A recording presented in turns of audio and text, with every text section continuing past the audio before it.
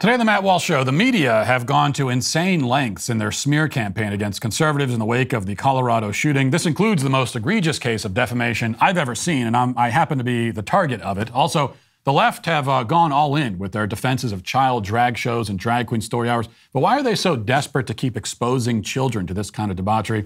I think I know why, and I'll explain. And woke white journalists are virtue signaling in Qatar, and it isn't going exactly well for them. Plus, a quantum physicist tries to prove that, quote, the universe is queer. All of that and more today on The Matt Walsh Show.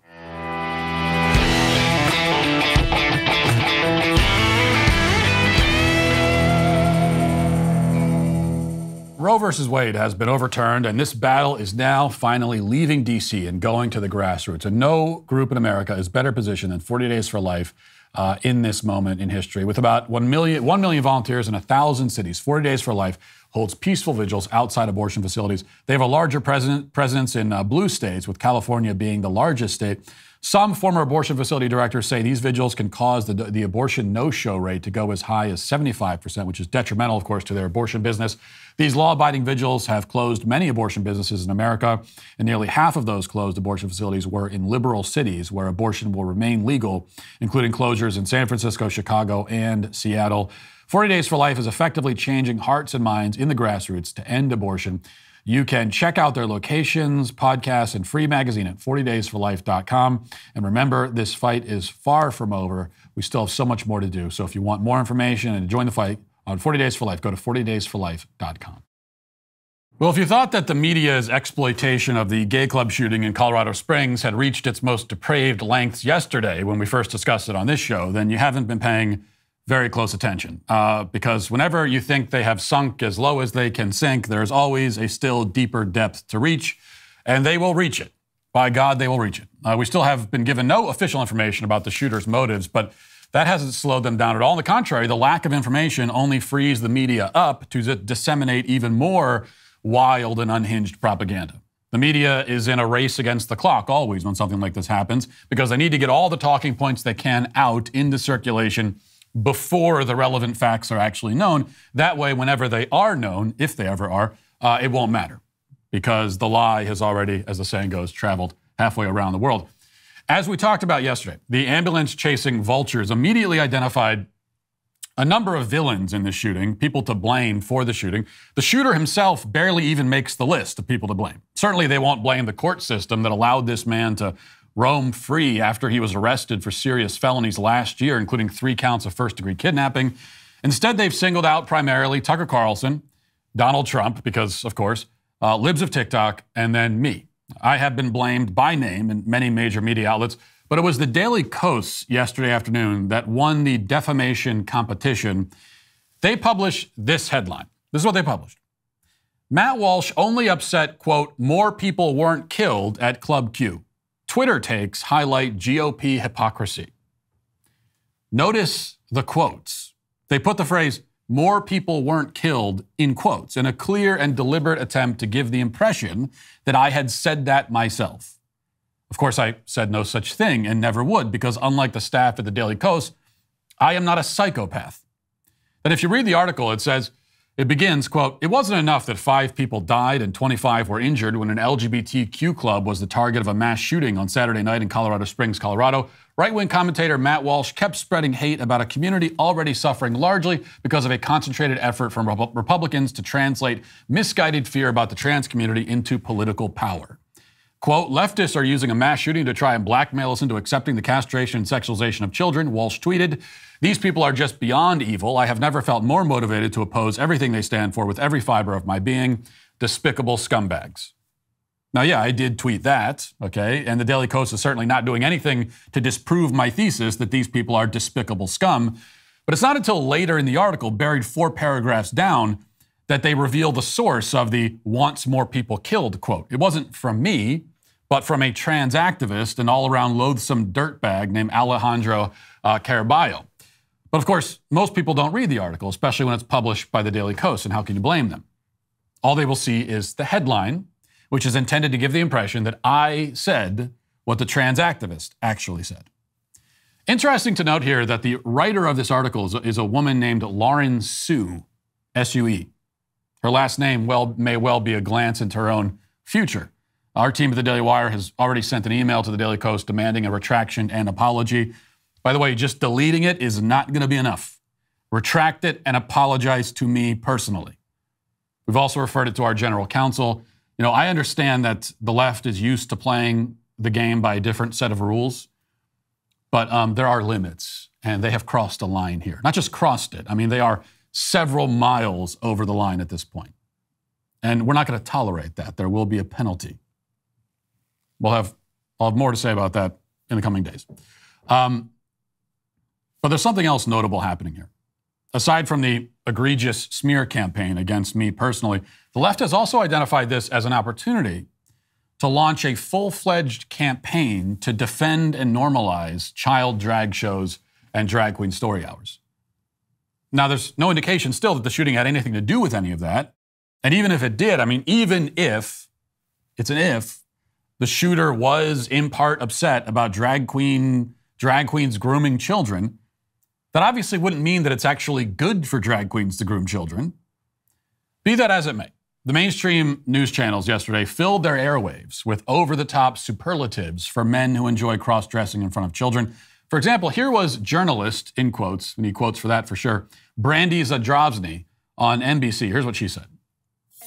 We've also seen, and, and, there was a lot of conversation about this. Um, the Denver Post covered it about drag shows being targeted. What is going on with that? Yeah, because they targeted drag shows a lot, and in part because um, Drag Time Story Hour, where a drag queen would come, it was a ubiquitous in libraries all over the country had it. A drag queen would come read a story. It was fun. The kids loved it. Um, and then also some sort of um, friendly, friendly drag shows. It would be on a Sunday brunch. You could bring the kids. They'd see a show. And the far right conservatives left on this and they put it together with, frankly, the QAnon narrative that's been out. And it was they're out to get your children the demonization, dehumanization, and moral panic around children in our community somehow being threatened by LGBTQ teachers, librarians, performers, that is the thread that's going through. And when you demonize someone to that extent and you make them feel like an existential threat to you and your children, it's no wonder, again, that we get this kind of violence. Drag Queen Story Hour was ubiquitous, she claims. She wants to make Drag Queen Story Hour seem like a tried and true American tradition something you could trace back to the founders, and which far right extremists suddenly decided to have a problem with because of QAnon. They're actually QAnon conspiracy theorists.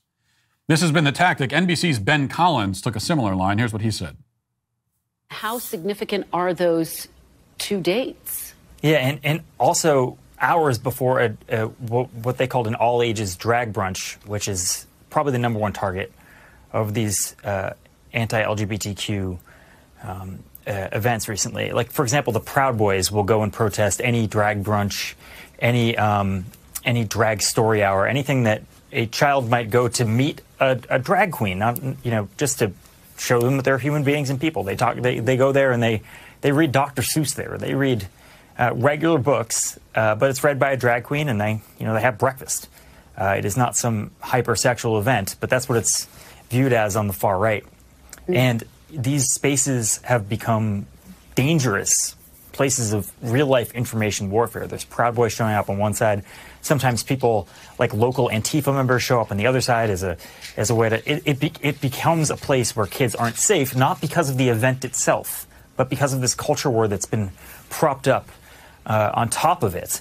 Uh, and uh, that's not something that should happen. This is not something you know. These people should be able to live their lives uh, without fear of being murdered, literally. Uh, but right now, that's the sort of climate that's been created by uh, anti LGBTQ uh, protesters and, frankly, bigots. Hmm. Frankly, bigots. The kids go to the drag show or drag story hour to meet drag queens, he says. Doesn't see anything creepy about that. Of course, he fails to mention that the kids don't go there, okay? They, they, don't, they don't like get in the car and drive there themselves. They are taken there. No child is asking to spend an afternoon meeting drag queens. Mommy, Daddy, can we go see a drag queen today? Kids aren't doing that. If the child's being raised properly, he doesn't even know what a drag queen is. My kids have never asked me that because, uh, number one, I'm, I'm raising my children to be normal children. And number two, they have no idea what a drag queen is. They've never been exposed to it. because they're kids. These concepts are introduced by adults, and the adults take the child to, quote, meet the drag queen. And why do they meet them? Well, Ben says to make them, the drag queens, feel like human beings. At least he has the order right. The drag shows, the drag story hours, they exist, even according to its defenders, for the sake of the drag queens themselves. The cross dressing men want to do this in front of children, and so children are offered up for the purpose of satiating this strange desire. Somehow, the way to make them feel human, to make them feel alive, to make them feel like people, is to let them cross dress in front of kids. Not just to let them cross dress, but to let them cross dress in front of kids. These drag queens, they, according to Ben, they don't feel human unless they're allowed to wear women's clothing in front of kids. Now, Ben is lying, of course, when he says that they just read Dr. Seuss. Obviously, the books they read are almost always LGBT propaganda because that's the point of the event. The combination of children and drag queens as has a this is something that has a clear and recent history. It doesn't go back into ancient history. It's recent. In fact, Chris Rufo, another culprit in the mass shooting, according to the media, had a report a few weeks ago about the ideological origins of Drag Queen Story Hour. As he notes, quote, enterprising queer theorists use the commercialization of drag and the goodwill associated with the gay and lesbian rights movement as a means of transforming drag performances into family-friendly events that could transmit a simplified version of queer theory to children. The key figure in this transition was a genderqueer college professor and drag queen named Harris Kornstein, stage name Little Miss Hot Mess, who hosted some of the original readings in public libraries and sits on the board of the Drag Queen Story Hour nonprofit organization founded by Michelle Tea in 2015 to promote children's drag performances. Kornstein also co wrote the manifesto for the movement called Drag Pedagogy The Playful Practice of Queer Imagination in Early Childhood. They uh, propose, the writers do, drag pedagogy as a new teaching method designed to stimulate the quote, queer imagination, teaching kids, quote, how to live queerly. Though Drag Queen Story Hour events are often billed as family friendly, Kornstein and Keenan, the writers, explain that this is a form of code. Quote, here, DQSH, Drag Queen Story Hour, is family friendly in the sense of family as an old school queer code to identify and connect with other queers on the street. That is, the goal is not to reinforce the biological family, but to facilitate the child's transition into the ideological family. Okay, so the drag queens who came up with this stuff said that this is family friendly in the sense of queer code when they say family in the sense of meeting other queers on the street. That's according to them. That's the kind of family friendly environment. The environment where you meet other queers on the street. That's the environment that they're putting kids in. That's the sort of family they're trying to connect kids to. So we see that Drag Queen Story Hour and family friendly drag shows, quote unquote, have two purposes. One, from the drag queen's perspective, is to satisfy their fetish for cross dressing in front of children. The other, on a more macro level, is to indoctrinate children into queer theory. To put it simply, the point of Drag Queen Story Hour and the child, the, the supposed family friendly drag shows is to turn your children queer. That is the goal. And whenever you say that, what I just said right there is going to be clipped by Media Matters. Hello, everybody on Twitter. Um, the people who invented it stated explicitly that that is the point to help children live queerly. That's their quote. And the thing about the left is that what they believe and what they do, all of it is so horrifying, so perverse, so degraded, that if you just quote them, then you somehow sound like the crazy one. If you quote what they are saying, it, may, it sounds crazy just to say it out loud because it's so horrifying. Yet it's true. And this is the reason the left cares so much about this and they defend it so vigorously. Because according to the left, think about this. According to the left, the drag queen child combination has become dangerous. They say it's a lightning rod for violent backlash, right? That's what they say. And it's greatly exaggerated, of course. Mostly it's invented out of whole cloth, actually. But, but even by their version of events, if it's causing this much chaos and violence, why do you insist on continuing to do it? If, if according to you, it's like putting people's lives at risk, If, if the effort to have men cross dress in front of children is putting people's lives at risk, why are you still doing it? Is it that important to you? Now, as always, they try to flip the burden around on us. They demand that we explain why we object to children being exposed to drag queens, and we can explain it, and we have, and we will continue to because it's very easy to explain. Drag is inherently sexual and ideological, it is burlesque, and it's not appropriate to bring your child to a burlesque show. You disgusting freaks. Why should we be the only ones explaining? Instead of asking why we oppose it so much, we should ask why they support it so much that according to them, they will keep doing it at the risk of life and limb. Why is it so important to you to cross dress in front of children? Why is it so important? Why do you need to do it? Why? Is it worth the cost that you claim you're paying for it? Why do you have to do this? Why can't you just not do it? How is that? Is, would that be a fun? If it is really causing all this chaos, again, that's your version. I don't uh, uh, agree with that. You're exaggerating, but according to you, that's what you're saying. Is it? Why? Nearly all children lived and grew up in this country for almost two centuries without ever being involved in or exposed to a drag show. And they were not any worse off for it. This is not filling some sort of need that children had. So, why do you act like it's some sort of desperate need now? Why can't you just not do it? Is it that hard to not cross dress in front of kids? Is the compulsion that overwhelming? Well, we know the answer, even if you won't say it. This is part of your childhood indoctrination campaign. It's an important part. And you must indoctrinate them young, you realize, because the older they get, they get, the more they will see you for what you are and your agenda for what it is. And that's what this is really about. Now let's get to our five headlines.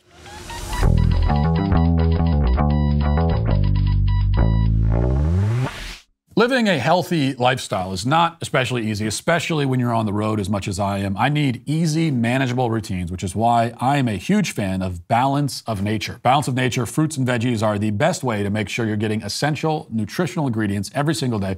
Their products are 100% whole food. Balance of Nature uses a cold vacuum process that preserves the natural phytonutrients in whole fruits and vegetables and encapsulates them for easy consumption. Balance of Nature sent a bunch of their products down to the studio for my team to try, and we all love them.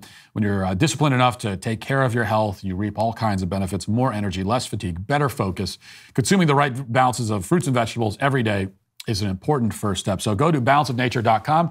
Use promo code Walsh for 35% off your first order as a preferred customer. That is balanceofnature.com, promo code Walsh for 35% off your first preferred order.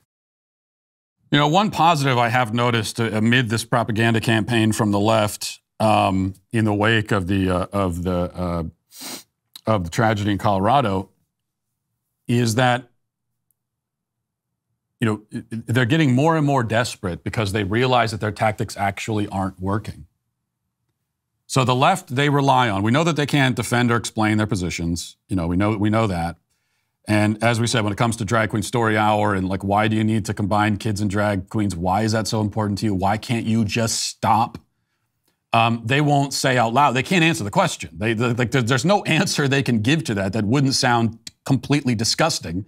And so instead, they just try to deflect and make us put us on the defense. But you know, so so because they can't defend it, what they rely on is censorship, obviously, and also self-censorship. So two kinds of censorship. There's the, you know, the, the, the censorship on their part, the active kind of censorship, where they're stopping us from, from communicating our points of view, shutting us down. But then there's also self-censorship, where they berate us so much and lie and defame us so much and threaten so much that we just stop, we ourselves stop saying whatever it is they don't want us to say. And for a long time, both of these, they had a lot of success in both areas. But in, in recent weeks, months, you know, um, in recent times, in both areas, they're starting to lose. When it comes to censorship, well, they've lost Twitter. Um, it would seem, anyway, that they've that they've lost Twitter. It certainly is not the censorship mechanism. We already know it's not the censorship mechanism that it used to be.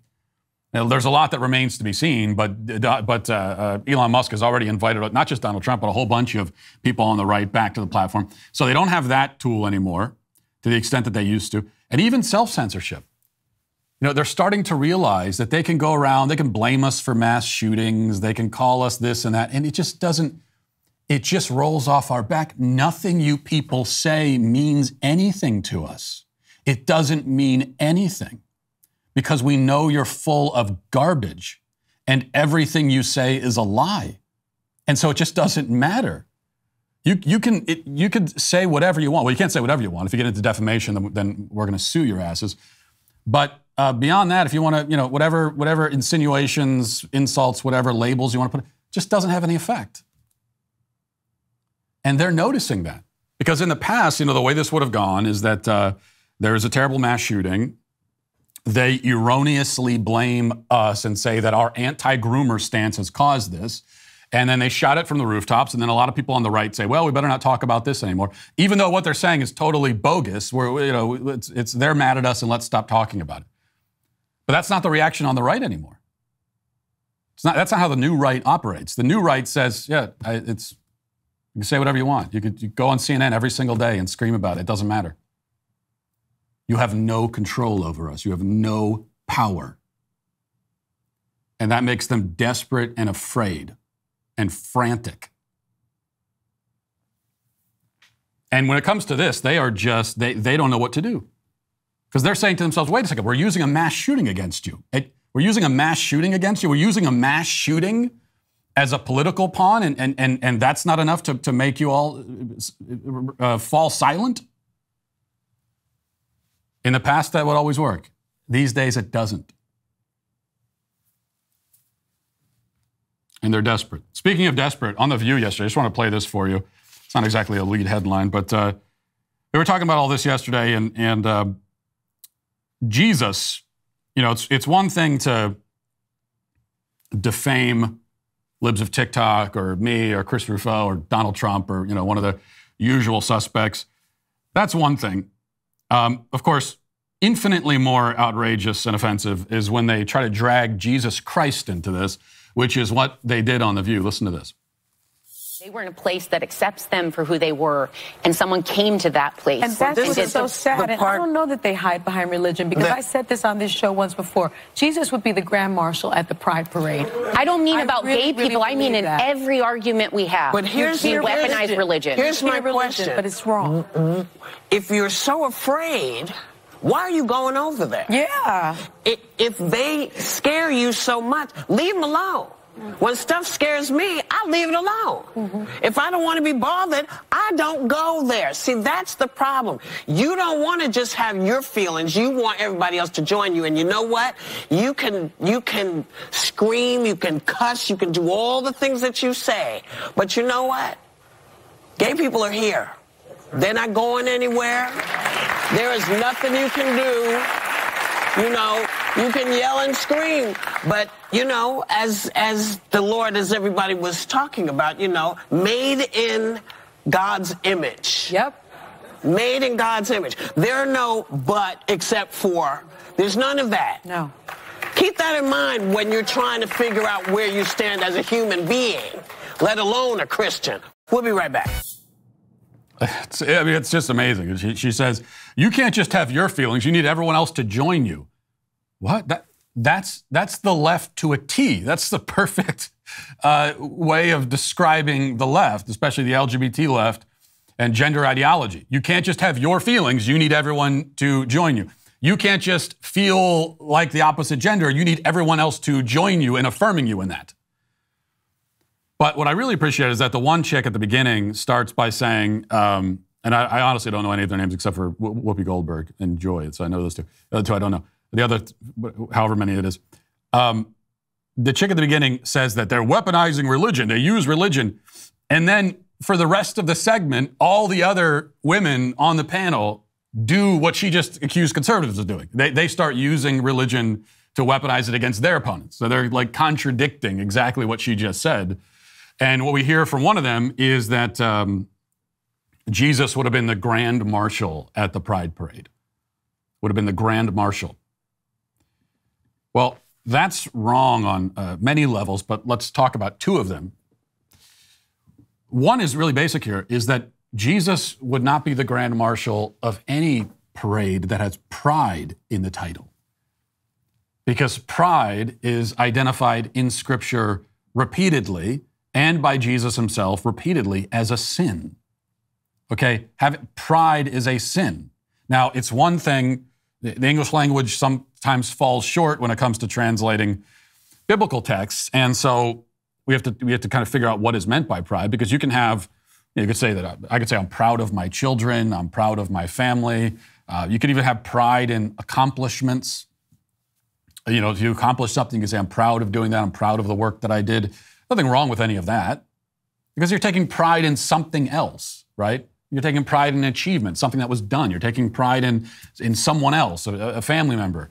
You know, that's just, uh, which is another way of saying love. It's just you, you love them. Um, the kind of pride that we're warned about in Scripture is this kind of haughty, vain, self centered, egotistical, I am the center of the universe kind of pride which is exactly the sort of pride that the Pride Parade is designed to uh, communicate and convey and celebrate. It's all about me. Hey, that, that's what the whole Pride Parade is, right? It's just everyone, look at me, look at me. That's all it is. So it doesn't even matter the context. Whatever the context, if, if you're engaging in that kind of pride, Jesus is not going to uh, celebrate it with you. He's going to have some stern words for you about. Uh, turning from your sin. But then there is also the context to, keep in mind here. And, and, you know, because you brought it up, right? They brought it up. They brought up the Bible. They brought up Christianity. You brought it up. And so we must inform you that what you're saying about Christian teaching and about Scripture is just incorrect. The Bible does, in fact, in both the Old and New Testament, in very explicit terms, um, uh, uh, lay out the, the homosexual act as a sin. You know, in fact, any sexual act that happens outside of the bonds of marriage is a sin, according to Christian sexual morality, biblical sexual morality. And also, according to the Bible, marriage is between a man and a woman. That's what it says. Now, you can, it, now, if you're on The View or someone aligned with them, you could say, well, I don't care what the Bible says. All right, but you, but you're the one who brought it up. Like you just brought it up. So they try to do both. This is their game. And in that clip, you heard both. On one hand, uh, no one cares what the Bible says. Don't use your religion. And then on the other hand, and by the way, I'll tell you what your religion says about this. And the game is that if, if you correct them on what your religion says, then they can revert back to the first talking point and says, why are you talking about religion? You brought it up. So they can make whatever claim they want about your religion, and if you correct them and say, "Well, actually, you're wrong. It's not what our religion teaches," I, can I, as a member of my own religion, can I tell you? I mean, you're a bunch of atheist, secular, godless uh, humanists. Can I, can I can I tell you as a member of that religion what it? No, no, I'll I'll speak for you. They say it's totally absurd. All right. This is from Euronews.com. I don't think I've ever uh, read a headline from them. It says an American journalist has claimed that he was detained on Monday after trying to enter World, the World Cup stadium in Qatar, where same sex relationships are outlawed, while wearing a rainbow shirt in support of the LGBT community. So this is Grant Wahl, is his name. And he put a picture up there very proudly. He's got the he's got the rainbow flag, and he says, "Just now, security guard refusing to let me into the stadium for USA Wales you have to change your shirt. It's not allowed, he says. Uh, he says that he was um, taken away and that he was detained for nearly a half hour. But then he says that they uh, that they later apologized to him and let him into the let him into the country. So that, that's what he says happened. And we're seeing stunts like this, and it, usually the stunt is is quickly abandoned. There have been various, including the USA team. You know, originally they were talking about rainbow flags, changing uniform, and they didn't really end up doing that. But they did have, I think, in their practice facility, they had the rainbow flags all over the place. So we're getting this from these from uh, some of these Western people that are showing up there. Um, but you just see it's interesting how quickly the respect all cultures stuff goes out the window, isn't it? I mean, say what you want, but this is Qatar, it's their country. It's a non Western, non white country. And now you've got white people, white Westerners like Grant Wahl, showing up and saying, I don't respect your customs. I don't, I don't respect your, your beliefs. I'm going to do what I want in your country. I'm going to tell you how you should run your country. Your laws don't mean anything to me because I'm the white Western guy. And I'll, I'll, tell you, I will inform, I will show up and be, and be the, uh, and, and be the, the, the arbiter of morality the source of morality. It is a, it is a, a form of this kind of moral colonialism that you see from the West, this ideological colonialism that you see almost uniquely these days from the left. And yet, in any other context, these same people would claim that they're all about multiculturalism. Well, you don't care about multiculturalism if you're not accepting a person's culture, including the parts of it you don't like. So if you're saying, I'm a multiculturalist, I enjoy multiculturalism, um, I enjoy all cultures and I respect all cultures, except for the parts of those cultures I don't personally prefer and that don't line up with my values. Well, if that's the case, then you don't believe in multiculturalism and you don't respect other cultures. It's kind of like saying, I respect all free speech except for the speech that I don't like. Well, then you don't respect free speech. So it all goes out the window immediately. And also, I, I, do have to say, and there have been uh, some, you know, Qatari citizens who have uh, spoken out about this. Here's one, for example, says, "As a Qatari, I'm proud of what happened. I don't know when will the Westerners realize that their values aren't universal. There are other cultures with different values that should be equally respected. Let's not forget that the West is not the spokesperson for humanity." Now, we talked about this a little bit yesterday, and. Um, you had the, the president of FIFA that was saying, well, the West has a lot to apologize for. But he meant historically. He was taking about taking him back 3,000 years. And so he was doing the whole white guilt routine, going back 3,000 years and all of our, and all of our dastardly sins. Um, that is absurd. But if we're talking about modern day, if we're talking about the West in, the, in, in modern times, the West right now, I would agree that we just are not in a position to morally lecture anyone, I'm afraid to say.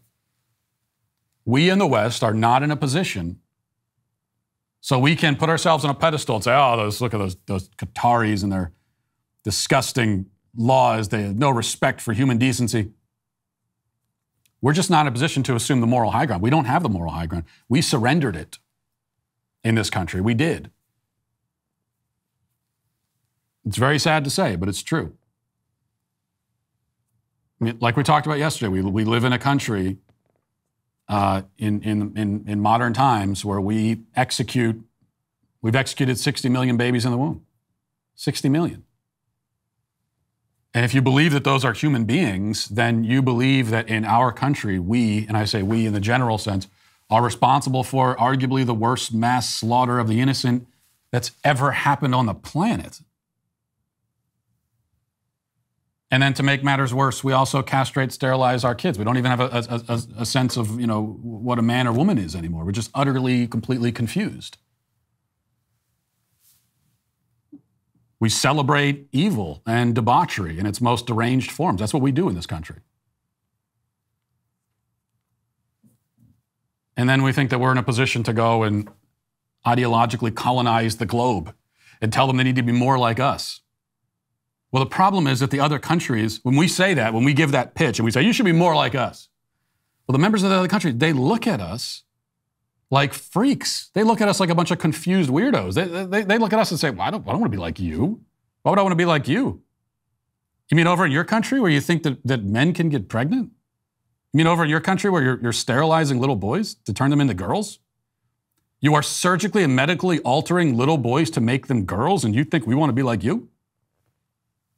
It's just, it's not a convincing sales pitch. I noticed this when I was over uh, when we were in Kenya, and it was it was very sad to see that the people in Kenya they look at America now with uh, really it's like a it's almost like a paternalistic pity, like a kind of there there you sad confused children sort of thing when they hear about what's happening here, and can you blame them? You saw in the film, I asked uh, one of them, you know, uh, would you ever want to move to America? And they laughed. They laughed at the idea that they would ever want to move here. That's what we have made of ourselves on the uh, world stage. Remember when Donald Trump was president, we heard so much uh, hand wringing and fretting from the left about how we won't be respected on the world stage. Other countries, they don't care about who the president is, whether it's Donald Trump or someone else. It's about the culture. Okay, they're not, they're not looking at our politics, they're looking at our culture. And these non-Western countries are seeing our culture and seeing a culture that has that is just caving in on itself, that is eating itself. And uh, they're saying, I just, I'm not interested in your moral lectures. Can you blame them? I can't. I just can't. All right. Let's see, what else do we got here? Kamala Harris was in the uh, Philippines, and you know it's been a little serious, a little dark. Let's let's uh, let's lighten the mood a little bit because Kamala Harris has some inspirational words to offer the the uh, folks in the Philippines and also all across the world. Let's listen. The way that I think about it is, you know, like relay racing. You know, you race and someone passes the baton and then, right? So that's what life is. It's basically a relay race. And so the people who are heroes, whichever gender they are, they ran their part of the race and then they passed us a baton. And the question is, what will we do with the time we carry the baton? which means there's no time to get tired. Come on. Right? You're going to pass that baton at some point, but right now you're carrying it. And the question is, what are you doing with it? Mm. Inspirational stuff from Kamala Harris. As, as always, she's got that confident look on her face. She believes she's nailing it. She's got something really profound to say, these faux profundities to offer about uh, passing the it's the it's the the relay race of life. You know, she thought about she you know she'd been working on that for a long time. She felt really proud of that. And in, in you know, to, to her credit, it, it is basically coherent. So I'll give her that. But even that, it's the, this is the position they're on in the Democrat Party, and on the left, this is the position they're in. Or even some, even just some like cliche platitude like that, the relay race of life, carry the baton. They can't even say that stuff anymore because that's not what they actually do, right? They're, they're not taking the baton from past generations, from our ancestors, and just running forward. No, they, they take the baton and then they, they stand there on the track and look at it and say, This is disgusting. I don't want to, what are we doing here? This is, I don't want to take a baton from you. You bigots, get away from me. They won't even take the baton. They, are standing on the track, like getting into an argument with the guy who's trying to pass the baton to them. Here, go, keep, keep on. We, we've, this is the country we've built for you so far. There's still a lot of work to do, but, but just keep going. No, I know better than you. So they, they actually will not take the baton from past generations. They're too busy, you know, tearing down the statues. They, they, they the guy tries to hand the baton, they, they kneecap him, leave him there on the track. That's what the left does. All right, I've had this for a couple of days. I wanted to mention it. This is from Washington Post. It says federal agents and prosecutors have come to believe former President Donald Trump's motive for allegedly taking and keeping classified documents was largely his ego and a desire to hold on to the materials as trophies or mementos, according to people familiar with the matter. As part of the organization, federal authorities reviewed the classified documents that were recovered from Trump's Mar a Lago home and his private club, looking to see if the types of information contained in them pointed to any kind of pattern or similarity, according to the people who spoke on condition of anonymity to discuss the ongoing investigation. The review has not found any apparent business advantages to the types of classified information in Trump's possession, these people said. And then it, uh, continues with more details. But this is just any, any person with a brain and who is able to assess stories involving Donald Trump honestly. And this is a, that's, a, that's a small minority of people who are capable of do that, capable of doing that. But anyone in that category, such as myself, already knew this. Like the idea that Donald Trump took classified documents to, to what, sell them to the Russians or to engage in espionage, that this was some sort of high level crime that he had cooked up? Obviously not. That was always obviously the case. It's, it's Donald Trump. Why did he keep the documents? Well, because he felt like keeping them. He just, want, he just wanted to have them. He didn't really think it mattered if he kept them or not. That's it. That's, that's why he took them. That's why he had them. Uh, that's all there is to it. But it, it shows that that you know for for the media, this is a revelation. This is months after the fact. They're saying, well, maybe maybe he wasn't trying to sell it to Putin. Maybe it's just like he just thought it was a memento he could keep. Which is which is which is I mean, love him or hate him, right? It's like that's a very Donald Trump thing. He says, I want to keep these documents. I just like to have them.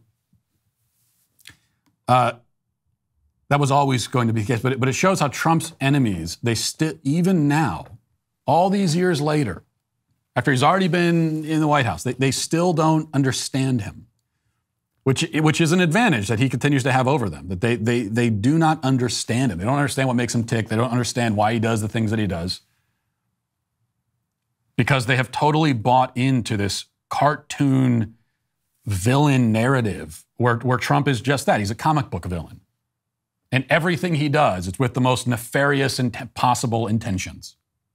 So, whatever Trump is doing, just imagine the most evil reason why a person might do that, and it must be that reason. Because he's literally Hitler, they think. When most of the time it's just sort of innocuous. And this stuff with the, with the classified documents, like many of us were saying from the beginning, it's just innocuous. It's nothing. They were just, they were just boxes of paperwork. You didn't do anything with them. All right, before we get to the uh, comment section, I, I, feel as though I just have to play this for you because I, I, feel as though it's only fair if we talk about this and acknowledge it because I can be critical of adult men, speaking of comic books, who take comic book movies and video games too seriously. They get too invested in them.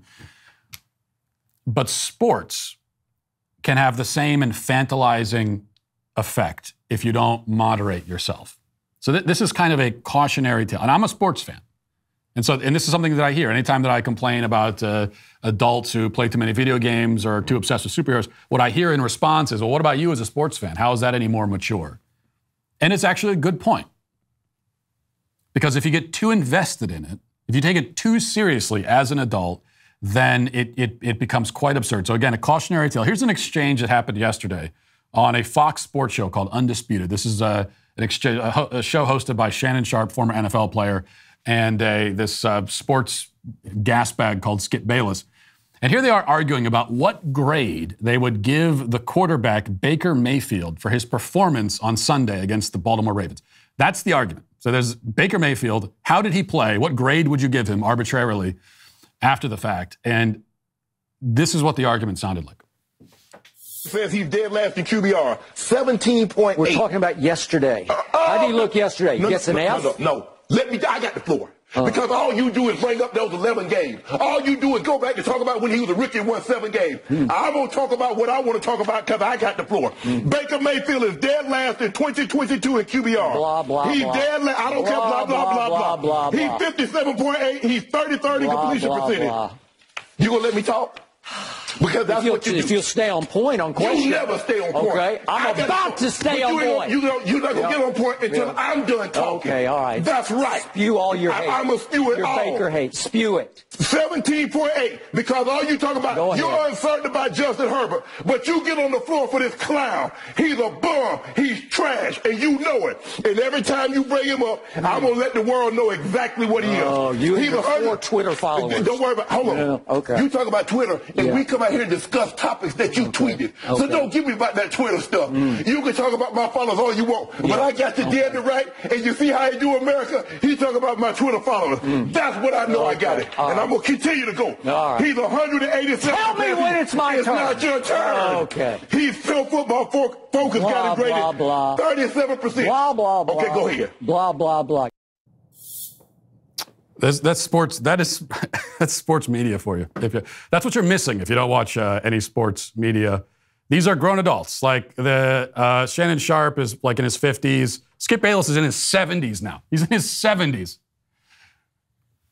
You say that he's a bad quarterback. I think he's good. I say he's a good quarterback. Not bad.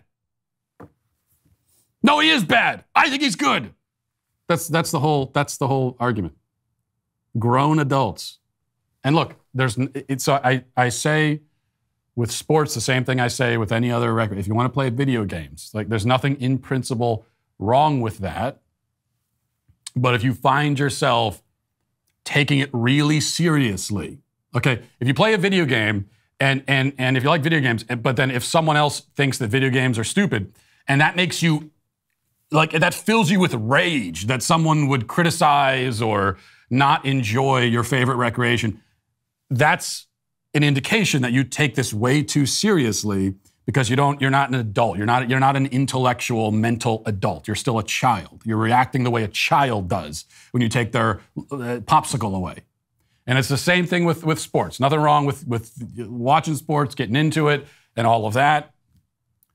But like is you see these, you know, there's, there's alcohol involved, obviously. Uh, well, there might be alcohol involved here too, but there's alcohol involved in the stands. But you see these the, the fans that start like they commit felony assault against each other. You see someone with it with the, with, the other team's colored jersey. You want to kill him, and you end up in you end up in prison for it. Like it's that kind of thing. You're you're not a you're not a you're not a mental adult. You're still a mental child. So any kind of recreation, because we're a very unserious country with unserious people, any kind of recreation can become a barrier to maturity if if you become too invested in it, and you don't supplement this recreation with a, with actual adult interests, like you know things like like just reading books and, and and that sort of thing. All right, so there's the caution. Let's get to the comment section. Do you know their name? They're the Sweet Baby Gang. Ivana says, Well, I knew this day would come. Sadly, I don't agree with Matt on something. Soccer is a normal, great sport like any other. Now, what idiot people have made it into is a different topic, has nothing to do with communism. I don't know where he got this concept from, but okay, it was funny. Well, I got it from science. I don't know what to tell you. It's just a, it is a matter, it's been scientifically proven that everyone who likes soccer is a communist. And I don't know what else to tell you. It's just that's that's where I got it from. I got it from science. And by the way, congratulations to the USA for their victory. I think they won. Didn't they yesterday? Oh, they tied. Congratulations to the USA for their uh, great tie in the World Cup. I don't know what that means. Do they continue playing to the next round or do they get thrown into the sea? I don't, I don't know what it is. Hopefully the latter, but uh, because as I already said, they're not invited back to the country with the whole rainbow flag stunt. Okay, excuse me, but says if Matt wasn't such a ghoul, he'd have the decency to feel responsible for his verbal treatment of LGBTQ people. I'm just going to take that as a joke because I assume that's what you meant. Probably not, but if I if I I should have the decency to to uh, adopt your viewpoint of my own words. If Matt had the decency, he would he would he would see his own opinions the way that I see them.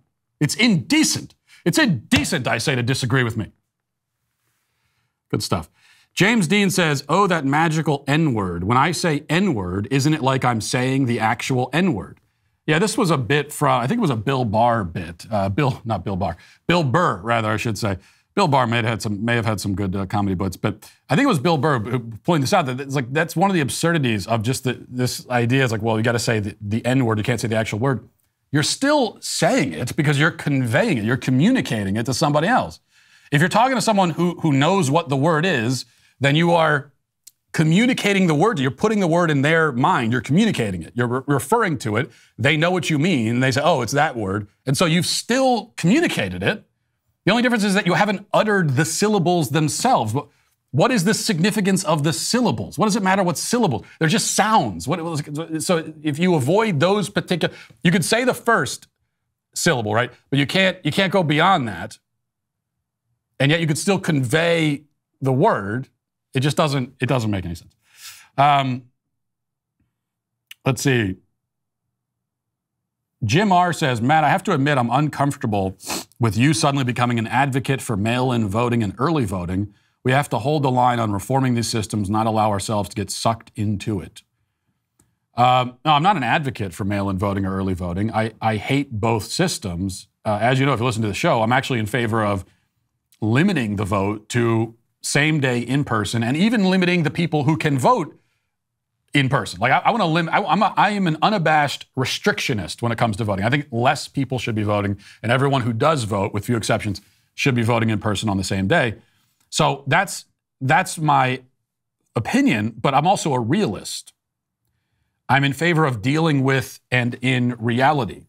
And, and the reality is that early voting and mail in voting exist, they are happening, and Democrats are using them to win elections. That's the reality. So we can either exploit the system for our own ends, or we can cross our arms and stamp our feet and say, I don't want any part of it, and then never win another election again.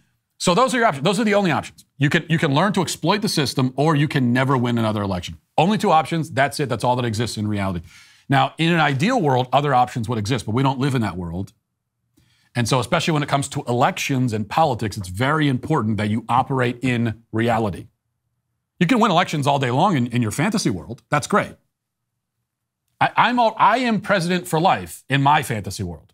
I am the theocratic fascist dictator of the entire world for life in my, but we're not in that fantasy world. So we're in reality. Are you going to operate within it or not? Are you going to win the elections or not?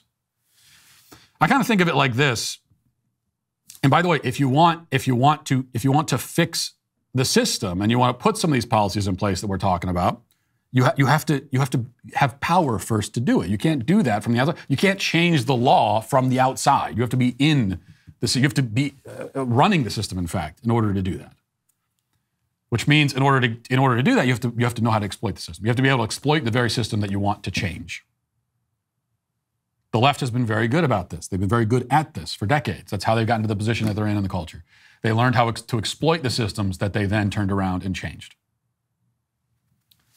I think of it like, uh, you know, back a few years ago, the NFL, speaking of sports, they changed the rules on kickoffs and they moved the kickoff line up so that the, the yard line, so that they're, they're kicking from further up on the field, which means, which, which uh, you know, eliminates kick returns for the other team because it always goes, it goes out back the, through the end zone, ends up with a touchback, and the other team isn't able to return the football. And they did this so that they could, uh, you know, uh, eliminate or negate injuries on, on uh, kickoff returns.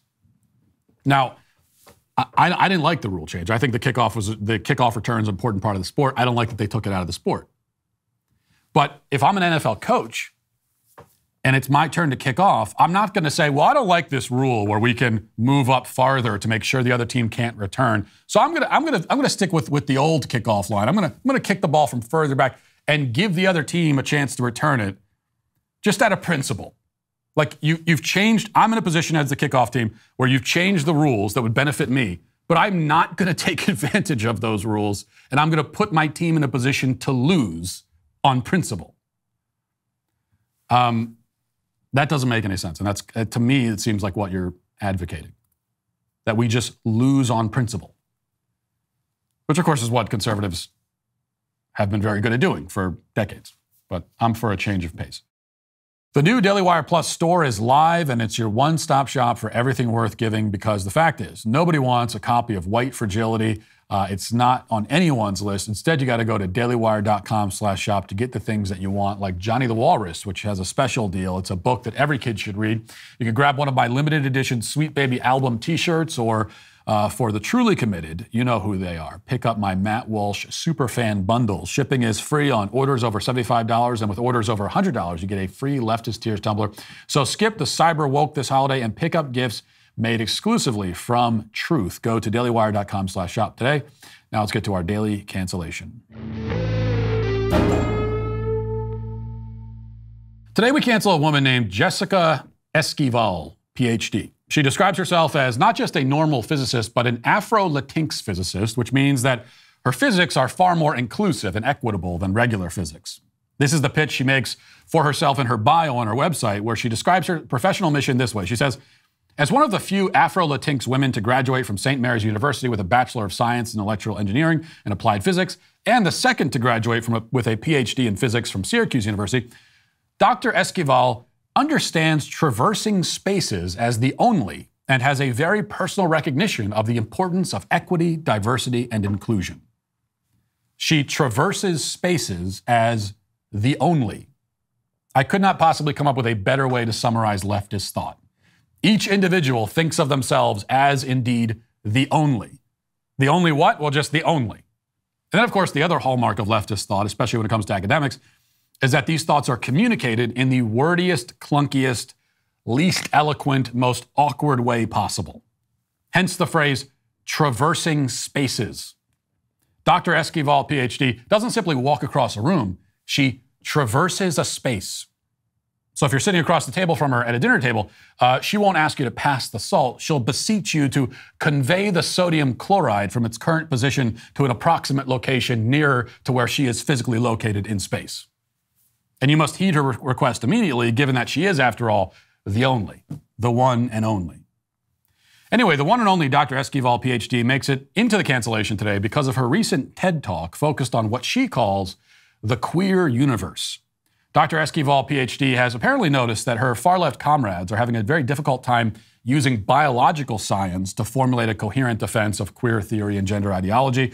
So she proposes that they abandon that pursuit and instead seek validation and vindication in the field of quantum physics. If gender ideology appears to make no sense from a biological perspective, maybe she can make sense of it from a physics perspective. And if she can't make sense of it, at least she hopes she can confuse people enough to fool them into believing that she made sense of it. That seems to be the goal of this talk titled The Queer Universe A Quantum Explanation. So let's watch as much of it as we can bear. Queer, differing in some way from what is usual or normal. As a society, we tend to think in absolutes black or white, gay or straight, male or female. But what if I were to tell you that the universe is non binary? That from cosmological scales to subatomic scales, that the universe is actually super queer. So it isn't such a crazy leap to assume that everything inside our universe is also queer. Does that make you uncomfortable? Or are you cautiously optimistic that the universe may offer some comfort? My name is Dr. Jessica Esquivel. I'm a Black, Mexican, queer, neurodivergent woman. I'm also a particle physicist. And today, leveraging my expertise on the intricacies of the quantum realm, we are going to create a reimagining of our universe. Now, I have to say that uh, if nothing else, I appreciate the visuals here. A blue haired woke physicist blabbering about the queer universe to an empty stadium while a small group of people walk around behind her, completely ignoring her. She did say she's the only, after all. In this case, she's the only one who attended her own lecture. Nobody also, no, no, notice also how she is ostensibly preparing to give a talk about science, and yet, while listing her credentials, her status as a physicist is listed last after woman, black, Mexican, queer, and neurodivergent. But if she has any legitimate scientific insights to offer, why does it matter which alleged marginalized victim group she belongs to? What relevance does that have? It's hard to imagine a legitimate physicist beginning a speech by announcing his sexual orientation.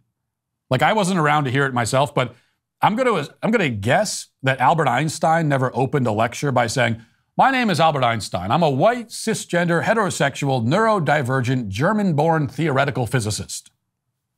That's because Einstein had brilliant ideas and he was interested in letting his ideas stand or fall on their own merits. Dr. Esquivel, PhD, on the other hand, needs to prop up her ideas on the crutch of victimhood. Let's keep listening. Everything around us, everything from the galaxies filled with stars to the extraordinary depths of our oceans filled with creatures beyond our wildest dreams, are made up of a fundamental set of particles. These teensy tiny particles live and interact in a world unlike our own. In our macro world, we tend to think binary categorizations and absolutes are the norm.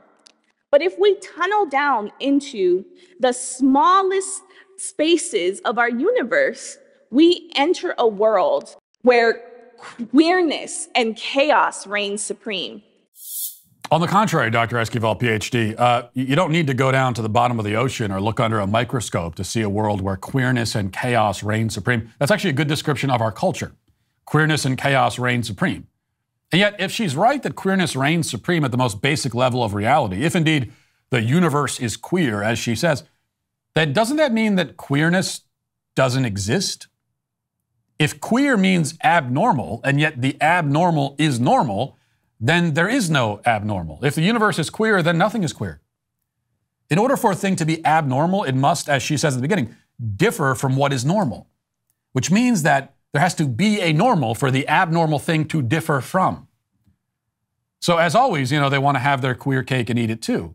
She wants to proudly announce herself as queer, taking pride in her own abnormality, and yet in the next breath insists that she is not abnormal at all because, in fact, everything is queer, everything is gay, everything is non binary. Even the atoms are gay. Our entire universe is comprised of gay particles, she says. Now, this is obviously totally inane, pseudoscientific, new age babble, but it's also self contradictory. Ever since the days of Alfred Kinsey, the priests and priestesses of the sexual revolution have tried desperately to convince us that their lifestyle choices and sexual quirks are actually normal.